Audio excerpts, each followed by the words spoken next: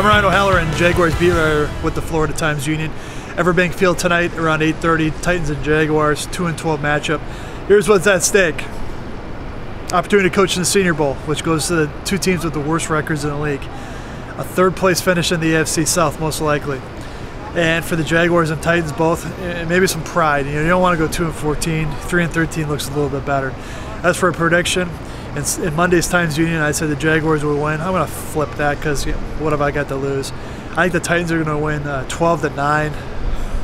Yes, it's going to be ugly, I think, but on the other hand, it may be a 40 to 30 shootout. I can't pick the Jaguars to win any game when they're not scoring on touchdowns on offense. They got two touchdowns in the last 45 possessions.